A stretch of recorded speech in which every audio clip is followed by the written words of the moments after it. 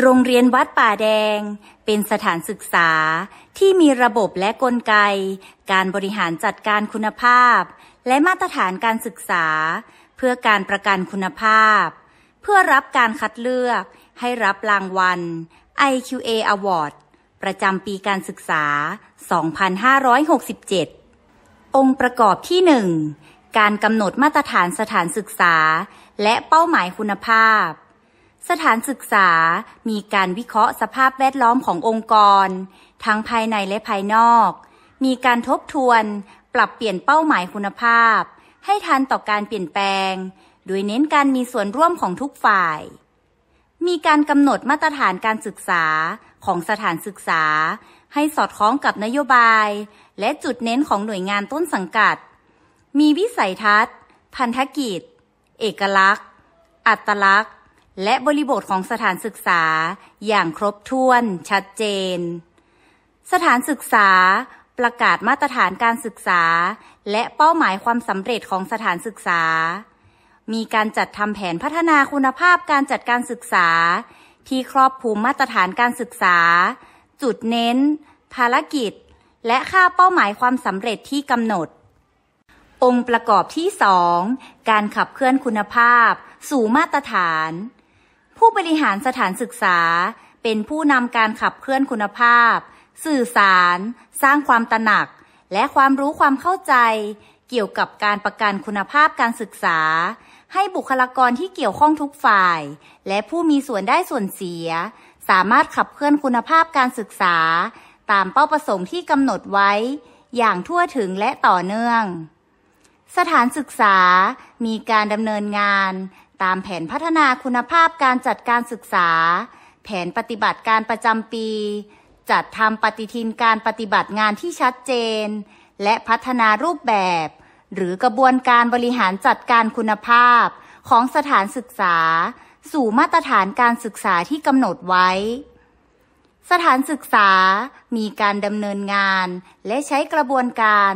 สร้างชุมชนแห่งการเรียนรู้ทางวิชาชีพ PLC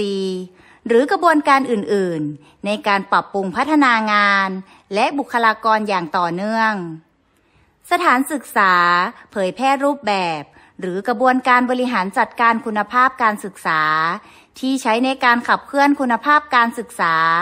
สู่มาตรฐานการศึกษาที่กำหนดไว้ นวัตกรรมการบริหารงานของโรงเรียนวัดป่าแดง ป่าแดง CCIS โมเดล รูปแบบการบริหารจัดการ โดยใช้พื้นที่ชุมชนเป็นฐาน Area Based Management ABM องค์ประกอบที่ 3 กระบวนการตรวจสอบความสำเร็จ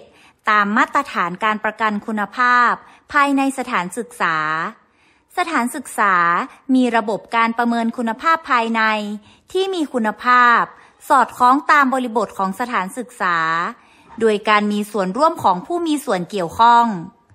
สถานศึกษามีการใช้เครื่องมือและวิธีการที่หลากหลาย ในการวัดและประเมินผลที่น่าเชื่อถือ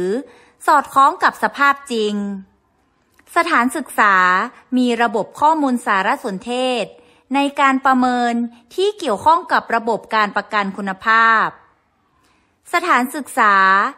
มีการรายงานผลการประเมินตนเอง ให้แก่หน่วยงานต้นสังกัด และเผยแพร่ให้กับผู้ที่เกี่ยวข้อง สถานศึกษามีการปรับปรุง และพัฒนาผลการประเมินคุณภาพภายในของสถานศึกษาอย่างต่อเนื่อง องค์ประกอบที่ 4 การนำการเปลี่ยนแปลง สู่สถานศึกษา และการสร้างคุณค่าแก่วงวิชาการ โรงเรียนวัดป่าแดง มีผลการประเมินคุณภาพภายใน ตามมาตรฐานการศึกษาของสถานศึกษา ในภาพรวมทุกระดับการศึกษาของโรงเรียน และมีผลการประเมินคุณภาพภายใน ระดับยอดเยี่ยม 3 ปีการศึกษา สถานศึกษาเป็นผู้นำทางวิชาการ มีนวัตกรรม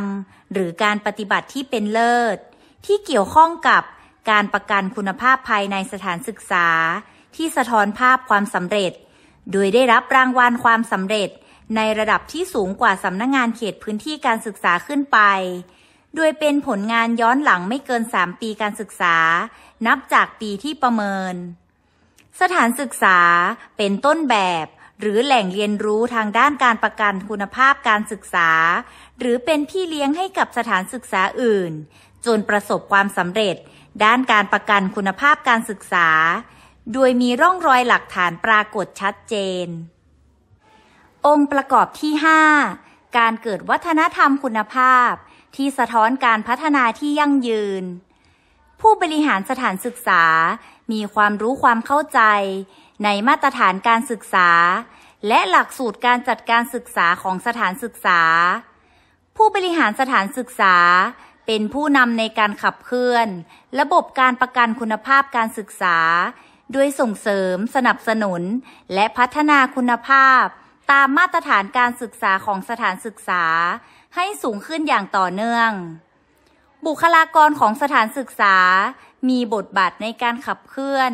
ระบบการประกันคุณภาพภายในที่สะท้อนการพัฒนาที่ต่อเนื่อง ยั่งยืน และเป็นที่ยอมรับของผู้ที่เกี่ยวข้อง สถานศึกษา มีการบริหารจัดการระบบข้อมูลสารสนเทศ ที่ทันสมัย มีข้อมูลที่ถูกต้อง สมบูรณ์ พร้อมใช้งานได้อย่างมีประสิทธิภาพ มีการป้องกันและรักษาความปลอดภัยของระบบ